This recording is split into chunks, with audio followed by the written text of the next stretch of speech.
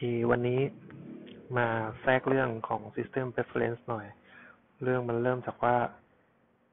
ช่วงนี้เหมือนจะมี iPhone หายกันบ่อยๆ ก็เลยมาดูว่า เอ๊ะปกติเขาบอกว่า เอ้ย iPhone มันหายเนี่ยมันตามกันได้ เขาตามกันยังไง จริง ๆ แล้วต้องบอกว่า ไม่ใช่ว่าคิดว่าจะตามก็จะตามกันได้นะครับ มันจะต้องอยู่ที่เราต้องเตรียมพร้อมก่อนที่มันจะหายด้วย ไม่ใช่ว่ามือถือซื้อมาแล้วมันจะ enable สิ่งเหล่านี้เอาไว้ให้เราได้เลย สิ่งแรกที่เราจำเป็นต้องมีก็คือ account ที่ใช้ใน iCloud ของเรานะครับ ก็มาที่เว็บนี้เลยครับ www.icloud.com user ที่เราเห็นเนี่ย ปกติแล้วมันก็คือ user ที่เราเอาไว้ใช้ในการเข้าไปใน เขาเรียกอะไรนะแอป App Store ของเราอะจริง ๆ แล้วมันก็ไม่ได้มีหลาย Account หรอกครับสำหรับ Apple แล้วก็มีอยู่แค่ Account เดียว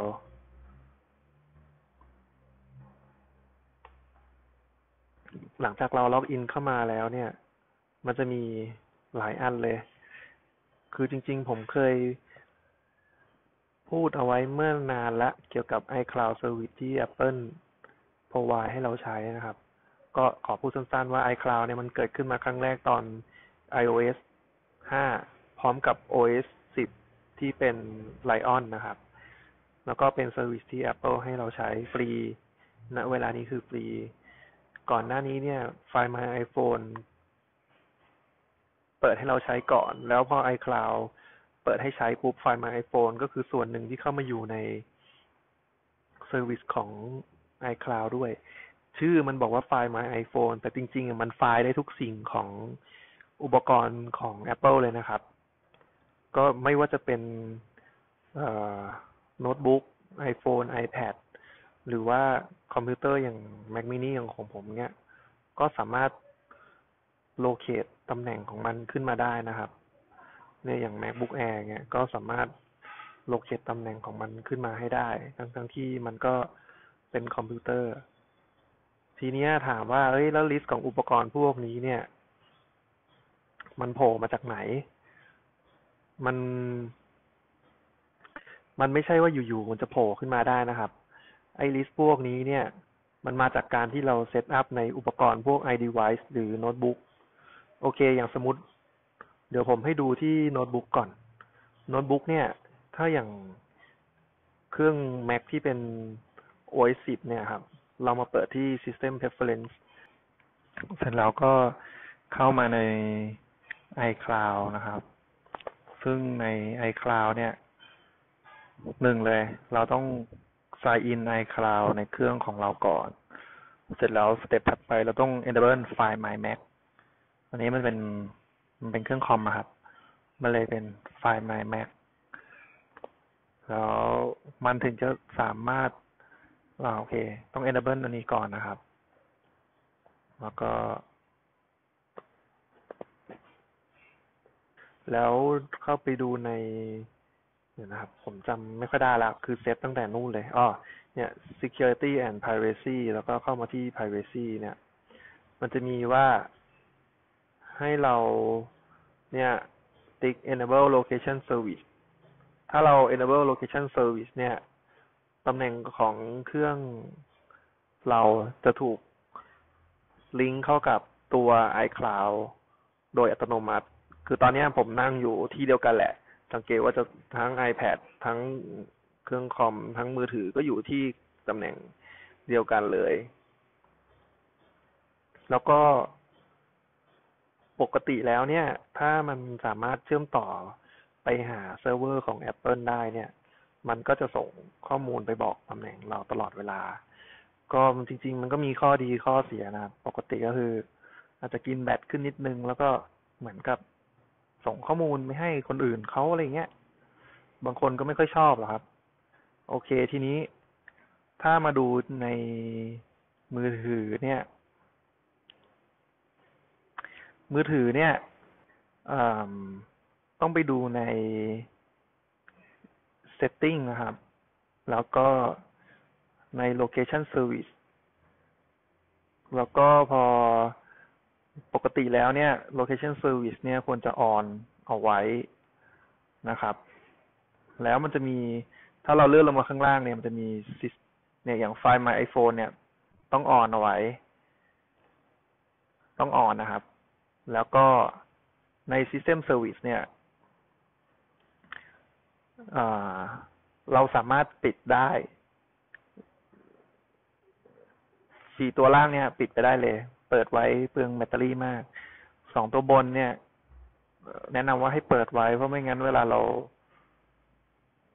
หาโลเคชันจะช้ามากถ้าเราไม่ไม่เปิดฟีเจอร์นี้เอาไว้นะครับ ทีนี้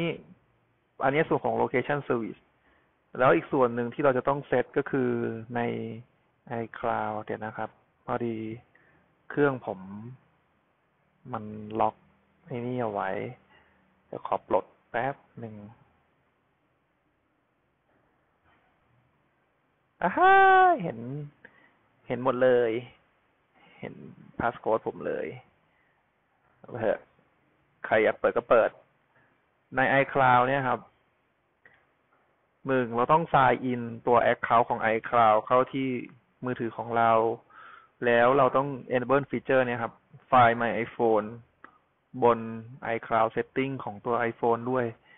เท่านี้อุปกรณ์เราก็จะส่งข้อความเข้ามาที่ส่งข้อความเข้ามาที่ตัวอุปกรณ์ได้ ทีนี้มันจะมีว่า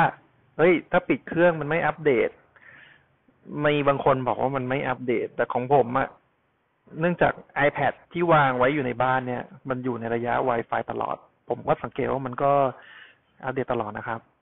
แล้วก็อย่าง iPhone เนี่ยที่ที่อยู่ในเลนส์ที่สามารถใช้ 3G ใช้ S ได้เนี่ย ก็แทบจะเรียกว่าอัปเดตตลอด ถ้าเราอยากรู้ว่ามันก็เลยนะเซิร์ฟเวอร์รู้ตำแหน่งครั้งสุดท้ายเมื่อไหร่ก็กด refresh มันก็จะเริ่มไปเช็คตำแหน่ง อย่าง Mac mini ตอนนี้ปิดอยู่ มันก็เลยไม่สามารถเห็นอะไรนะ ไม่สามารถเห็นตัวตัวตำแหน่งได้นะครับ ทีนี้เนี่ย มันก็จะมีว่า มันก็จะมีว่า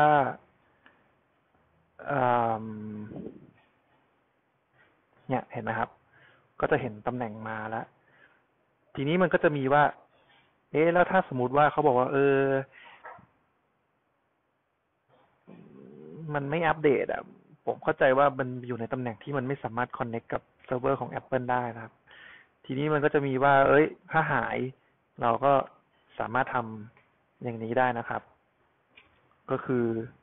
คือบางทีอะ เรามองในแง่ดี คนบางคนเนี่ยก็คงไม่ได้คิดว่าจะขโมยอะไรหรอก อาจจะเก็บได้ด้วยบังเอิญ หรืออะไรก็แล้วแต่ไงครับ แล้วก็มาที่เครื่องเลยครับ จิ้มเลย จิ้มโบแล้วก็กดอันนี้ครับอินโฟเสร็จแล้วก็ส่งเมสเซจไปว่า อะไรอะ่ะ ขอคืนด้วยอย่างเงี้ยคืน อุ้ย พิมพ์ผิด แล้วก็เซนตึงพอเซนเนี่ย ถ้าเกิดว่าเครื่องนั้น ๆ เนี่ย อยู่ในอยู่ในตำแหน่งที่สามารถคอนเน c t กับตัว push server ได้เนี่ย เราก็จะได้ข้อความขึ้นมาที่เครื่องเลยนะครับ หรือเราสามารถสั่งมันล็อกเครื่อง ล็อกคือหมายความว่าใส่โค้ดล็อกเลยที่เครื่องปลายทางเนี่ย ผมอ่าผมล็อกสามหกเก้าแปดใส่ทีหนึ่งอ่าสามหกเก้าแปดสั่งล็อกพัวมันก็จะล็อกเครื่อง iPhone นั้นๆ ทันทีเลย แต่มันก็ต้องมีเงื่อนไขว่าเครื่องนั้นๆ ต้องอยู่ในเลสที่มันสามารถรับส่งข้อมูลกับตัว push server ได้นะครับอะ ตอนนี้มาเอาละ เครื่องผมต้องถามละ password ก็เป็นสามหกเก้าแปดซึ่งปกติแล้วเนี่ย ใส่ผิดสิบครั้ง มันก็จะเคลียร์ข้อมูลทุกอย่างในเครื่องเลย หรือยิ่งกว่านั้น ไม่เอาแล้วเราไม่ชัวร์ในชีวิต ขอ อย่างนั้นเลย ลบมันเลยดีไหมเออฟีเจอร์นี้ผมขอไม่ลองให้นะขี้เกียจทำเครื่องใหม่ ก็สั่งเนี่ยครับ รีโมทวิปวิปหรือวายเนี่ยไม่รู้อะออกเสียงไม่ถูก กดอันเนี้ยพัวลบข้อมูลทุกอย่างในเครื่องเลย ก็ถ้ากดปุ่มเนี้ยหมายความว่าไม่ได้เครื่องคืนเนี่ยแน่นอน แต่ข้อมูลเราก็จะไม่รั่วไปหาใครด้วยเช่นกันแน่นอนนะครับ ก็หลักๆแล้วเนี่ย มันก็ไม่ได้เซตง่ายหรือเซตยากหรอก แต่ว่าเราต้องเซตไว้ก่อนที่มันจะหาย เพราะถ้าหายแล้ว ทำอะไรไม่ได้ละครับ มันเลยไปแล้ว คงช่วยอะไรมากกว่านี้ไม่ได้แล้วนะครับ ก็ใครที่ยังไม่เซตผมแนะนำว่าไปเซตไว้ก็ดีนะครับ โอเค จบนะครับ วันนี้